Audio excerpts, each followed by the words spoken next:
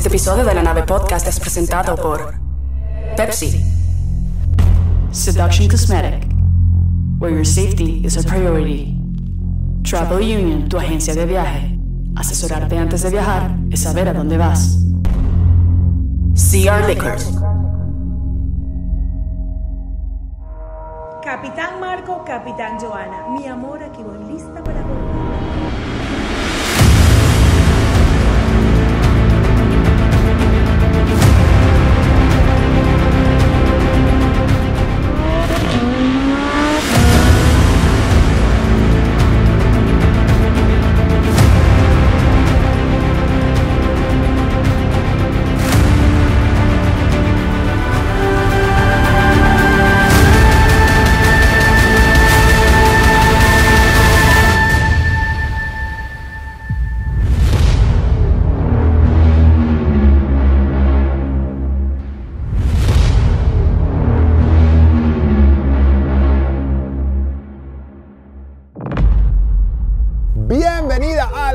Podcast. Bienvenidos todos. Hoy con la gran Norky Batista. Se pone bueno. Segundo despegue junto a nuestra Joana Vargas en el primero. ¿Quién la invitó? ¿Por qué? La cagó. Esto no era, esto no era solo yo. Tenías que aplaudirme porque yo te aplaudí. Vamos otra vez. Vamos otra vez porque yo la aplaudí a ella y ella me tiene que aplaudir.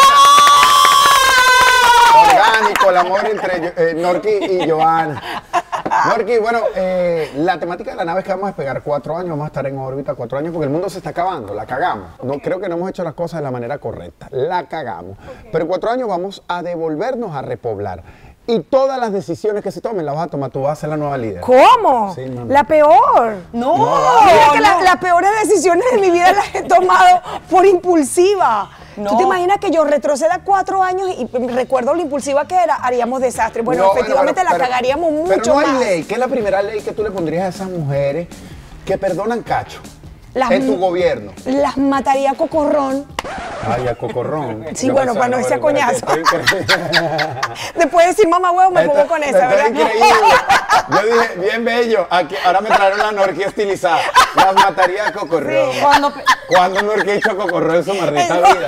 no entiendo. Acaba de No descubrir la no acabo de palabra. descubrir. Sí. Cocorroncito para todas estas muchachas mal portadas. Y nosotros, no, pero ¿dónde está la norte que queríamos? ah?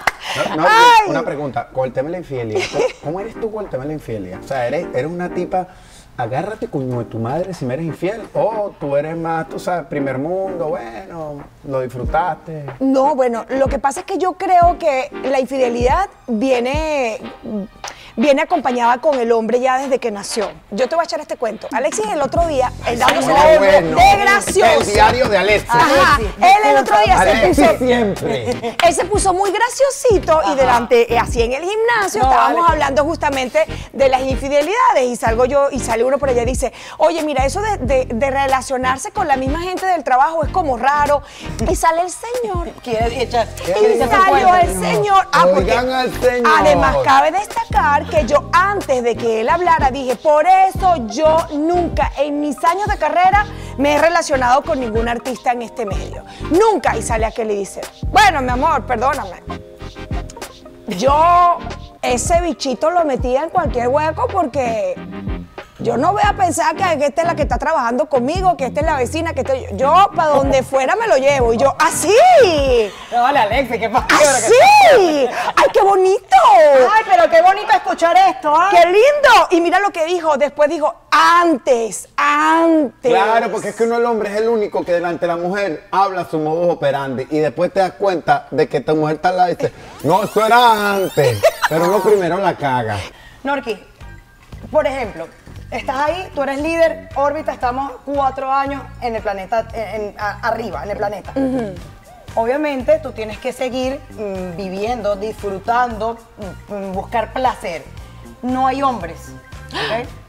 No hay, no hay. Pero tienes la oportunidad aquí en la nave de crear un androide, de crear con quién vas a pasar estos cuatro años. Ajá. Tú lo vas a poder crear y lo vamos a crear poco a poco, ¿ok? Ok. O sea, lo vamos a... Eso, eh, ya- ya me quedo un paréntesis. Eso está bueno porque el, el marido acaba de entrar justo en esa pregunta. Entonces esto se va a poner bueno. ahí. Entonces, Alfonso, no puede ser nada de tu marido. No No, puede no, ser. pues yo me imagino a un negro bien negro, pero bello. Le había dicho cómo lo iba a armar y ya. Mira, no le iba a decir las hablando reglas. de eso, Norqui, Las reglas son. Ya, el negro ahí. Para ti el tamaño, sí, el tamaño sí, el tamaño, el tamaño para ti, para Norqui es importante el tamaño. Mm, eh, me he enterado de que mm, así sirve. Así sirve porque en el Tú clítoris. decir que, que Alexis tiene el huevo chiquito porque te veo justificando el tamaño. No, yo después de No, tanto tiempo, no. tantas experiencias, yo Y digo que así, obra. así puede ser feliz, no así. Así. Mira, es verdad, para allá. es verdad, porque las, La que- las mujeres pueden ser satisfechas con un pipí chiquito, no tienen que ser demasiado grande. Pero porque estamos hablando de pipí chiquito y grande. ¿Por No, qué? no, no, no, porque, porque- disculpa, nos fuimos para allá, pero No, coño, no, te fuiste Ah, ok. son cosas que toda Venezuela quiere saber. Está- está- Vamos a armarlo. Vamos a armarlo. Vamos a armar un. Android, vamos a armar un Android de, un tipo con el que tú tendrías relaciones sexuales estando en órbita, pero solamente puedes escoger personas famosas. Ah, no. ok, debe, debe tener las nalgas de quién. Arma el Android para ustedes dos. Ojo, puede ser hombre o mujer. O sea, dependiendo del al androide con quien tú quieras estar. Bueno, Jennifer López, pues. Ok, el- Ah, o sea, que, o sea que tú, que tú en la intimidad, tú patinas por llegar. No, pero me dijeron que podía ser hombre o mujer. Bueno, pero, Bueno, es que- pero por lo mismo. Pero, Es que de hombre nunca me fijo así en las películas, uno normalmente no le ve el Pero normalmente le o sea, hacen los le ponchas a la culo a mujer. Jennifer López. Pero ¿por qué mamar culo? Ah, pues eso pudiera pasar en el... Claro, porque en es que la- estamos hablando de que Ah, porque eso viene Claro, después. porque- Ah, No. bueno, le pudiera mamar el culo a Jennifer no, López. ya se lo mama cualquiera, Sí, ¿no? sí, sí. O sea, Ay, qué horror. no, qué horror, no. el peor es que entre alguien, alguien que meterle un gato para abrirla. Qué horror, qué horror. Qué vergüenza esta De- entrevista, de- mamá, Sí. no, yo no la conozco, de verdad. No, mamá, O sea, esto no. es solo ficción. No, a mí no. me pagaron para decir esto. Pero estoy de acuerdo contigo, porque además es un androide con el que yo pudiese compartir con ella, ¿no? ¿Tú crees que sí, Sí. ustedes lo van a compartir? ¿Y, y tú, tú crees que eso en, en el sexo, Norquis? Perdón que te lo pregunto, pero bueno, somos amigos. Sí. Tú eres una tipa que inventa, tú inventas, ¿no? O, o normalazo, tírate tu misionero, Me dime gusta. te amo, piquitos varios. No, no, a veces me gusta inve- inventar. Sí, antes inventaba más. Disfraces, cositas, Ay, bailecitos. no, Alexi, pero tú Mira, estás ya de mal en peor. Antes me gustaba grande, ahora me conformo, ya no invento. Pero, Pero ya va, aquí, ya va, hay que aclarar algo. Aquí dijeron que no hablábamos de esposos. Es verdad. No, en el Android, en el Android, solo eso, tienes No, razón. que estamos verdad, hablando pero- aquí de, de lo no, que pero- pasara allá arriba sola en el mundo. ¿Y por qué antes inventaba y ahora no tanto? Bueno, porque antes estaba más joven, ya estoy mayorcita. Yo ya como me que afuera. Ya cuesta y comprar el disfraz, y cre- crear la situación. Ya me da flojera. Yo, yo creo que mi marido me vería y se moriría de la risa. Me lo ha dicho. Entonces, yo creo que con él no me atrevería a disfrazarme. Como disfrazaste, por ejemplo, que, que enfermera. De, de- Como de gatúbela con una cola así, unas orejitas, Y tú y unos y- guantes y unas y botas hasta ¿y aquí. qué estás haciendo? Ridícula, Sí, y él me dice, mi amor, tú vas a salir así, yo te voy a decir, ¿qué te pasa, mija? ¿Me entiendes? Ese Android, ese Android debería tener la cara de qué? Una cara sexy, un tipo Eh, eh, No, famoso, tiene que ser de, de sexy, cine. cara, tu- una sí, cara que una cara, "Ah, este una tipo". cara. Pero Puede ser del famoso- cine, música, no, en general. para que, para que lo que tú lo vas representando lo vamos armando aquí en la nave. Ay, ¿cómo se llama? Nicky Jam. Pero, pero solamente de aquí para acá. O sea, ¿Te gusta, la cara- ¿Te gusta Nicky Jam? es como, como malandrito sexy. Le gusta el malandro. Es que Ah, yo ya ¿verdad? veo, ah, el Chama, porque una la- gorra mujer- es como motorizado. Es como, sí, es que o, como, o como el de aventura, ¿cómo se llama? Romeo, ¿sabes? Romeo. ¿Ves? Pero tú te imaginas tiene- Romeo dándote esa peli y te, te gusta. Ay, bueno, sí, a veces pienso en eso y no. Sí. Sí, no. Mira. No. Bueno, pues se tiene que ser macho, ¿me entiendes? Entonces en ese no. Pero Mira. se va a ver bastante raro tu macho con el trasero de Jennifer López. Bastante Bueno, raro. no, aunque la verdad, este Romeo tiene su, su pompicito, tiene, o, o yo estoy viendo raro. Sí, él tiene su, ¿no? Romeo es un tipo que tiene. Romeo es un tipo que, que si analizamos tiene un buen trasero.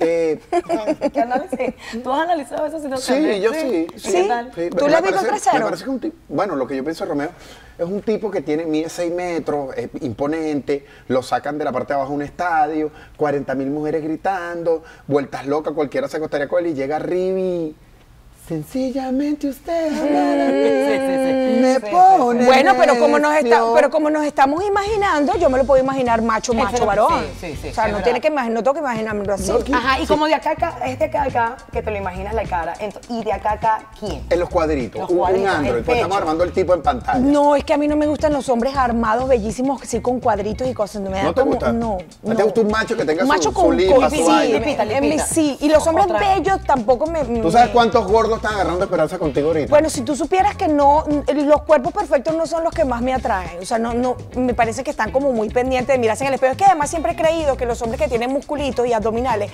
están teniendo sexo contigo, están como que. No. y que estén como que.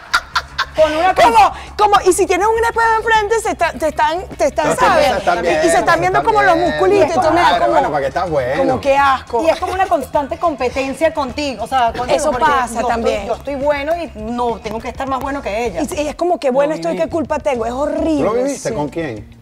Bueno, vivió. Ah, y ya Ah, ves. pero, pero no, pero no sé, no me pasa, ni me pasó. Sí, sí, es Yo es siempre he estado tratando de esconder mis pies en la sábana y la barriga. de Si yo puedo tirar en franela, estamos chéveres. Y en media. No joda, soy súper sexy. Mira, no, quiero pregunta. eh, si, no, yo aquí, eh, en hipótesis, estamos cuatro años, se empieza a acabar el oxígeno y tenemos que salir de uno. Este, ¿A quién baja la nave? ¿A- a- ¿Para que se muera? ¿Joana o a mí? ¿Y por qué Joana? Ay, yo- de una manita. No, no, está bien, está bien. Joana, Joana, tú tratándola con esa amabilidad. Con esa manera, esperando que llegue tarde, no me importaba que se trajera su chola. O sea, yo dije, no no venir amiga, ven para acá, tratándolo de amiga, antes de que llegara esa historia y que viene por ahí mi amiga, colega, compañera. Ok, no, pero está Pero bien. a ti, ay, Joana, a- estamos jugando. No, no estamos jugando, no, Ah, no. esto es real, esto es de verdad. No, mentira. Estamos jugando, chica. No. Hazte la muerta ya. Hazte- ¿Y por qué me lo llevas para la casa? Ok, ¿por qué? ¿Te quieres quedar con Marco? ¿Te gustó Marco? No, pero es hombre. Las mujeres son muy, muy problemáticas, chao. Cuando dice que es hombre, ¿qué quiere decir con eso? O sea, Bueno, que hombre y mujer siempre se la van a llevar bien. Las dos mujeres siempre chocan y hay un rollo, hay una cosa, ¿no? claro, no, chica. O sea, pero dame las razones. Yo digo, bueno, Mira. está bien, ti- o sea, bien. ok, la- las mujeres somos muy Porque además ni me problemáticas. afecta. No, para nada. ¿Tú te imaginaste estos cuatro años con Norquia ya, tu, tu super amiga? Mira, no, y agarradas de mano y que. la, Y- la, y- la, la. No, Joana, yo no me imaginé eso Ay, nunca en la vida. No, no. Ay, qué mala amiga. No, porque además yo me imagino, si, yo me imagino si tengo otro hijo tenerlo varón. No me imagino una hembrita. Ojo, adoro a mis sobrinas, las amo, pero yo no me imagino tener una hija hembra. Pero yo- Viviría pegándome, pero o sea, ahora yo- agarrándome por los pelos. Quisieras tener, o sea, ya estás pensando en tener un hijo. Yo quisiera tener otro hijo, sería abuela, ¿no? Pero no importa. Una abuela Pero si joven, tener otro hijo. Ay, yo quisiera. ¿Y qué pasa? Porque, ¿Y qué, pero, ¿y qué qué- te lo qué- impide? o sea, ¿qué está frenando? No, aquí los que están sorprendidos son ustedes. A mí nada no me lo. Ah, pero ya va, yo no sabía. A mí nadie me lo Es que no estoy como muy pendiente de las redes, pero Yo, sí, sí quiero yo quisiera tener otro hijo, sí. Bueno, Alexis quiere otro hijo, yo también. Sebastián quiere un hermanito. Y niño, niño, niño, todo. Quiero, eh, quiero varoncito. Sí. Alexis tiene una hija hembra. Sebastián quiere un hermanito. él, Pues feliz de la vida que sea varón. Y, y no lo están planificando. Tú sabes que no se planifica. Sí, ahorita sí, está- sí, ahorita sí, estás en un proyecto, ¿no? Estoy en Telemundo. Entonces sí. ahorita no es.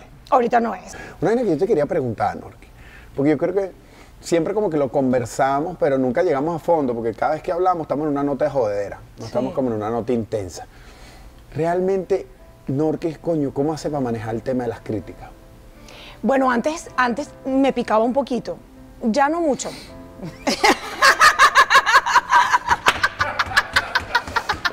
Eso me sonó, me pico igual, pero... Ah, critíquenme para que vean. ¿Qué, cam- qué cambió? ¿Qué cambió? ¿Entendiste que era parte del negocio? ¿Entendiste Sí, que sí, la sí. dijiste, esto es parte de esto, no tengo que meterle eh, tanto fuego a esto? ¿Qué, Mira, cambió? entendí y me di cuenta que mientras más hablaba o repicaba, era como... Más se alargaba. El efecto positivo para lo- la otra persona, ¿no? Que ni siquiera era para, para mí que era la que se estaba defendiendo. Entonces dije, ay, ¿sabes qué? Ya, como dice Alexis, que un día me dijo, ¿para qué le haces caso? No le prestes atención. La gente tiene memoria corta. Hoy te están hablando y mañana se les va a olvidar. Y empecé a dejarlo pasar y efectivamente sí, tuvo razón. Lo veo y lo digo. ah, Le duela a quien le duela. Yo estuve en Venezuela en estos días y dije que Caracas estaba, ojo, Marco, pero es que además, fíjense ustedes, yo siempre digo, aprovecho que estoy aquí con ustedes, que a todo el mundo le encanta verlos. Aclara tu verdad, Norquis. Sí, aquí. y es Ante- que- Siempre me encanta tener un programa de decir esto. Ante nuestras cámaras, aclara tu verdad. En nuestras cámaras. Hay millones de personas viéndolo. Ok, y estoy, mil. y estoy en esta nave hablando sola pistolada, donde yo sola con yo me estoy escuchando. No, y te estás entrevistando, tú que te oí el traje. Yo dejé hablar hace media hora. No, cuenta, cuenta. Mira, yo Ajá. empecé aquí así, hace o sea, yo empecé el Yo me, yo me estoy acuñando aquí, yo estoy agarrando comodidad. Y yo y que- ¿Y que por qué se está abriendo la nave? Pues estamos. No, no, mentira. No, vale, que estabas echando el cuento, estaba bueno. Lo único, lo único que coño va a decir, entonces nosotros la vamos a interrumpir. Por eso es que esta mierda no la ve nadie. Y te- entraste tú y no la sigue viendo sí, nadie. gracias a Dios entré, porque si no... No, velo, si no no Mira, Norqui. Se lo a Norqui le invitamos sin decirle que tú estabas aquí, porque si no Sí. empieza, ay, marico, la semana que viene. Ay, no, no, Estoy no, con no. orgasmo con la obra. Verga, Norqui no ha sacado la obra. Estoy en ensayo. Es que no tengo tiempo, déjame pensar. Mira, ajá, que tú comentaste que viste, que viste Caracas un poco mejor. No, hablando, de lo que uno ve y dice, yo dije, Caracas, y en el texto lo digo además, me pareció que estaba un poco como arregladita, bonitica, acomodadita, parapeteadita, pero nadie escuchó parapeteadita. Respondiéndote un poco de lo que me decías de que he ido aprendiendo, es que tienes que hacer lo que te dé la gana. Bravo. Sí, bueno. Para sentirte feliz, Sí. que te resbale y, y o sea, creo que es como... Yo, yo siempre he dicho que uno tiene que hacer lo que le dé la gana. Decir a lo uno, que sientes, lo creo. que sientes sin hacerle daño al otro. Además. O sea, tú haz lo que te dé la gana, Mm. pero que no le afecte al otro. Al Y otro, mientras tú sí. estés haciendo lo que a ti te dé la gana, sin hacerle daño a nadie, marico, yo creo que uno es libre de hacer lo que uno quiera. Sí, porque además es muy feo y además yo siempre he estado en contra de eso. Tú jamás me, has vis- me vas a ver a mí, a mí, a Norqui Batista, que sea la noticia viral de Joana Vargas y yo salga creye- creyendo buscar protagonismo Claro, un video y diga, no oye, bueno, falta. a mí me parece, No con respecto falta, a lo que está saliendo, bueno, que ella de verdad, el pelo, el pelo blanco está muy blanco y ella está como un poco pálida y esos videos que hace pinchorreteándose la boca horrible. pero. Pero O sea, le estás ya, dando. si no estás criticando porque hago O sea, se ve que Norquis tenía algo por dentro, O sea, ¿no? Se ve que no, soltaste algo, soltaste algo que tenías por dentro. Ya, ya, pero ya. Lo amo por mi madre santa, los amo. Pero que amo, que me estás criticando, te haces volar, chica, tóxica. Este programa hasta que hora ella, yo no aguanto. Me, me lanzó a la nave, me está criticando mi contenido. Ten mucho O sea, cuidado, ten mucho cuidado con los ojos. A veces sufro viéndote. Digo, ay, se va a llorar, va a llorar, se le va a irritar las Ya pestañas. encontramos el único view de esos videos, Norquis. Los ¿quién amo ve los videos. Joana? No, yo, yo los amo, yo los ¿Y amo. por qué entonces me sac- sacaste de la nave? La que no lo supera, ¿sabes? Porque, porque las mujeres somos muy problemáticas y las mujeres no podemos estar mucho tiempo juntas. Bueno, mira, tú sabes. ¿Qué fue Se me fue la señal. Aquí tengo señal, aquí, aquí sí tengo. No, porque les quería decir que, bueno, esta, esta nave, la- vamos a hablar de quienes nos ayudan a este despegue. Nos ayudan nuestros amigos de Seduction. Se- Joana, ayúdame, ¿cómo se dice? Sedu- Seduction. Seduction, mira, mira. Seduction, Seduction. una Yo soy la clínica mejor, yo soy la- estética en, Seduction. en Miami, Seduction, Ajá. donde mi amor usted se puede poner tuni, este, puedes meter tus planes de crédito en Seduction, en. Miami. Entonces aquí abajo está toda la información, más abajo está toda la info, Seduction, Sedu- vamos a seducción. Vamos a cambiar esta vaina porque Sí. Pero está se raro. pueden buscar pues, este, patrocinantes como que el Rincón del Llanero, vainas que uno pueda decir. También este despegue va a nombre de Pepsi, porque toda la vida lo he dicho, nada más rico que una fucking Pepsi fría, creo que no le gana a nadie. No le gana ni la otra que no puedo decir, pero ustedes saben que no le gana la puta Pepsi fría. Y también vamos con Cerro Liquor, si estás buscando una curdita, una vaina en el Doral, Cerro Liquor está ubicado en todo el Doral, es tu mejor liquor store de Miami. Y casi se me olvida, Travel Union. Las personas que nos consiguen los pasajes para cualquier lugar que nosotros viajamos en el Ay, mundo. consíguemelos a mí. Mire, Travel, aquí está. Ay, ¿qué y- fue? Y, Qué bueno aceptan venir el Gran Inter. ¡Qué bueno! Aceptan tu mundo Inter. Ay, qué no lo puedo decir, póngase en contacto con Ángel porque te con- Ah, bueno, Norquis coronó pasaje con Travel Union. Ángel en Nazaí. ¡Uh, uh, uh! de viaje. Bueno, señores, lo ¿Qué mejor de esto es que no solamente te consiguen los pasajes, sino que te consiguen la estadía. ¡Ay, esos son! Seguro, seguro de viaje, te, te ayudan, con el seguro Mi de viaje, la prueba del cor- coronavirus, todo. todo, Anota todo. ahí. Anoten ahí, ustedes saben que ¿Cómo este, son? ¿Cómo que se llama? eh, Travel, Travel, Travel, anota ahí. Norqui, Eso es seguimos. lo que Ah, yo quiero. Mira, vamos- mira, mira. Imagínate que estamos Ajá. en el espacio. Vamos a encontrarnos a tres, no, tres personas, no, porque estamos en el espacio, tres marcianos. Ok, Pero los conocemos. Uno es Eduardo Orozco, ok. ¿sí? El otro es José Ramón. Él es José Ramón, ¿qué es? Simón- Barreto. Simón Bolívar, Barreto. Ajá, ajá. ¿Sí lo ubicas? El que después salió con la novia que, que sacó un video sexy, erótico, no sé qué, ese. Ajá. No, bueno, esa no, es- esa no la referencia, pero José Ramón Barreto, no, seguimos, seguimos. Pero porque te acuerdas de algo de José Ramón, de, o sea, el video, eso, ¿qué te lleva a, a Me quedé con las ganas de ver el video, no lo vi, que estaba buscando para chismear el video a ver que, pero nunca lo llegué a ver. O ¿Te sé llama que la atención? Me Ok. llama la atención. Sí, esos videos siempre me llaman la atención porque me los disfruto. Dicen que Yo- José Ramón lo tiene grande. Ay, no lo vi ahí. Mira, pero en no fin, seguimos, no lo seguimos. vi. Ok. Yo no voy a abrir comentarios de mi hermano aquí, cero. Ni voy a opinar sobre eso, opinen ustedes. El tercer marciano es el conde de Guácharo. Ajá. Sí, los tienes a los tres. Ok. ¿Con cuál de los tres tuvieses el hijo que quieres tener? Coño, con el conde del Guacharo no. ¿Por qué, Col Conde? ¿Por qué no? Pero con, Ra- racista, con. Ramón, me, yo quiero mucho a Ramón, lo conozco desde que es muy chiquito. Y si tiene gran, muy chévere, puede ser bien. Él puede ser interesante. Me- quedé pensando en eso que dijiste. ¿Tú lo viste? No, por eso dije, me han dicho que, lo, Ah, que te han me han dicho. Bueno, en fin. Él puede ser. Ajá.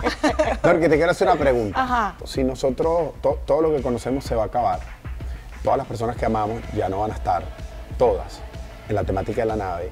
Y si, en este caso hipotético de que esto sucediera, te dieran la oportunidad de llamar a alguien que ame eh, con todo el corazón, hacerle una última llamada, valga la redundancia. no me hagas Sí, eso. ¿A quién llamarías y qué le dirías? Hijo, te amo con todas mis fuerzas.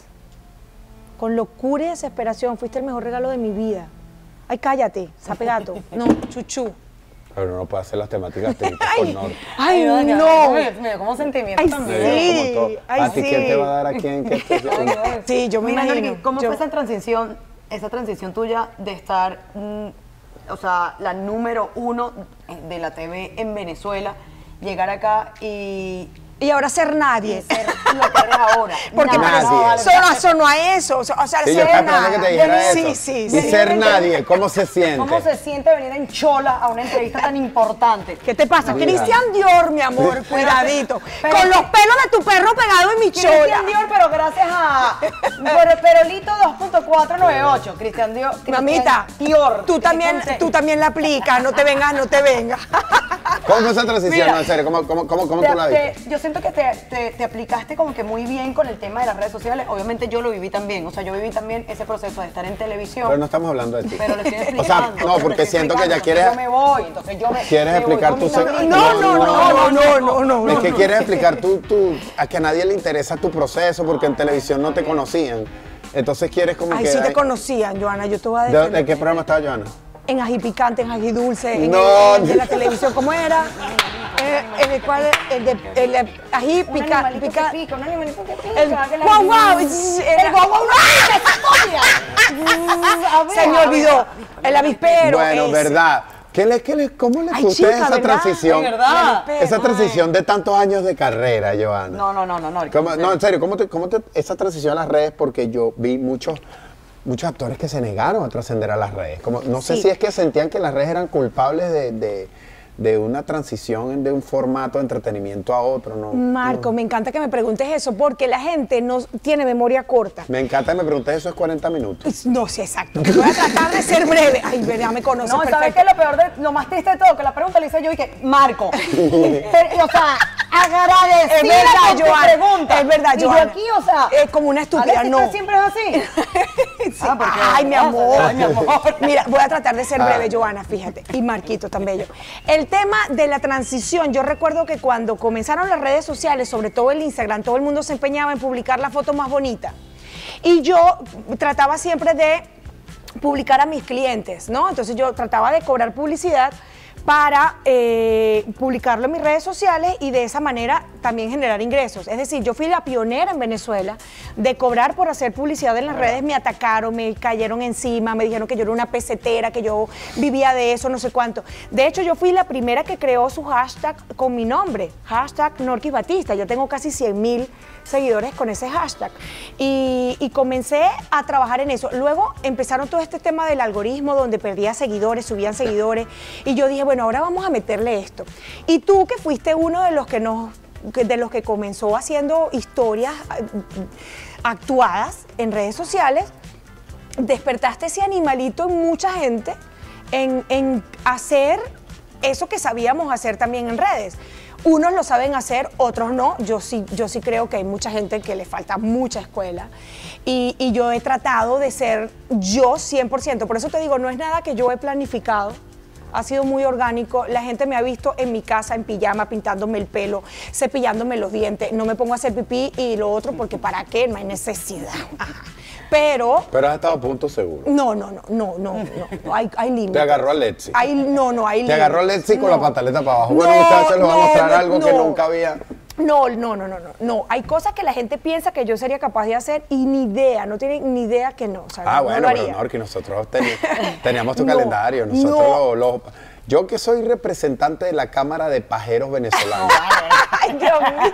Te puedo decir como representante de la Cámara que, bueno, teníamos tu... Hablando de eso, Marco, mira, nosotros hacíamos calendarios. eh, bueno, tú llegaste a hacer calendario en claro, algún momento. claro.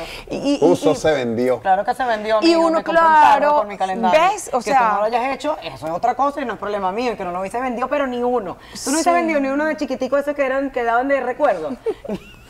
aunque tú te hubieses visto sexy en un Señores, calendario. come- comenten, ¿Estás a claro, Marco? aquí, un calendario de estos aquí de cara. Mira, comenten si ustedes compraron el calendario de, porque e- ella, ella vendió un calendario. Wow, 60 mil ejemplares vendí en aquel momento. ¿Cuánto vendiste tú? No, yo no me acuerdo. No se acuerda, se compró un carro, pero, pero imagínate tú. Yo vendí 60 mil ejemplares. Yo recuerdo que yo, bueno, no parábamos de vender calendarios. Hice mucho dinero en esa época haciendo de todo, comerciales de televisión. Casi que todos los, tele- los, los- los comerciales de televisión los hacía yo y me siento orgullosa ¿Cuál poder fue el más famoso? ¿Cuál fue el más el? Bueno, yo ¿Tú te hice? Minelli, hice Didi Jean, Wow, hice Caché, hice salían UFO. bailando siempre con los Didi. Jean, ¿no? Yo, bueno, fui pionera en las chicas polar. Fui la primera que la chica La polar, la que tumbó a la chica regional. Que, ah, tú tumbaste a la chica Mi amor, pero Era el tú cuerpo de que Era el cuerpo de yo eché- Para eso Johanna te tiene aquí, para Ra, humillarte. Todo el mundo decía que eras tú, eras tú. Sí, sí. Sí, Eras era tú. Yo ahora te tumbé. ¿Por qué crees que le tapaban Yo la- te tumbé. ¿Por qué te creen que le tapaban la cara? Mi amor, te tumbé. Párate para que veas. Párate, mírate. Ah, mira wow, pues. ah. almacena ese momento en sus cabezas. La sociedad de pajeros, recuerden ese momento siempre. Norki, y yo siento que, weón, o sea, todos te admiramos. Eso no, eso no está. Nosotros, o sea, los que verdaderamente te admiramos y te tenemos cariño, este, estamos por encima de cualquier cosa, cualquier crítica. ¿Sí me entiendes? Creo que es Claro, mucho. claro.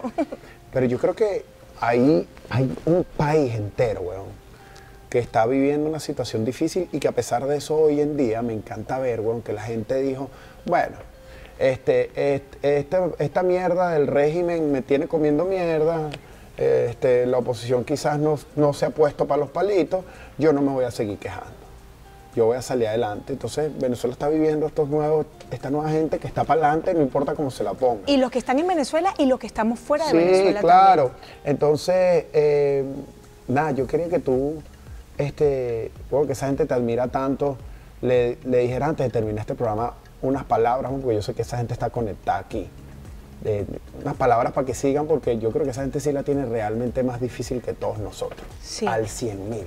Sí, bueno, yo que tengo a toda mi familia ahí y voy a hablar por eso, ¿no? Y yo estoy segura que al hablar de mi familia es hablar con un país entero.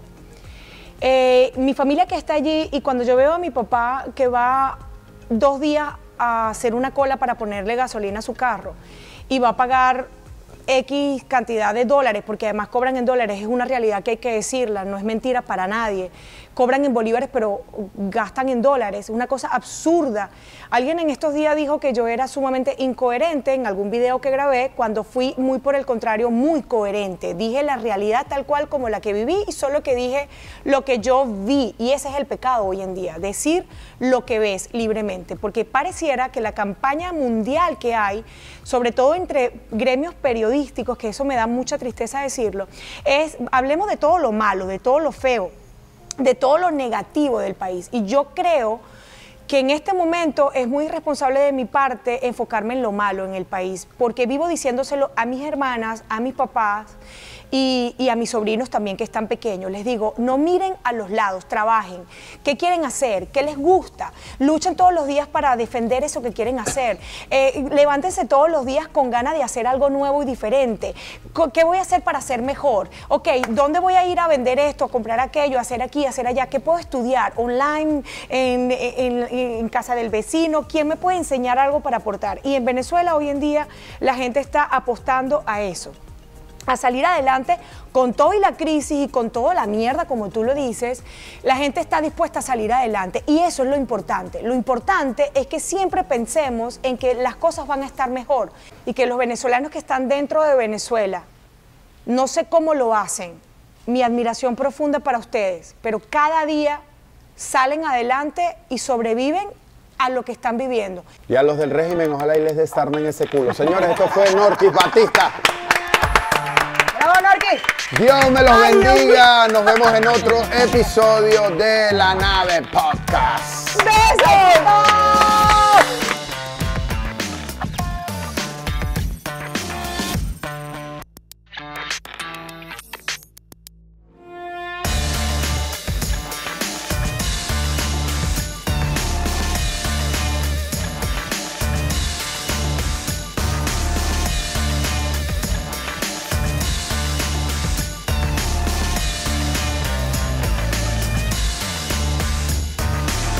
La la la la la la la la la la la la la la la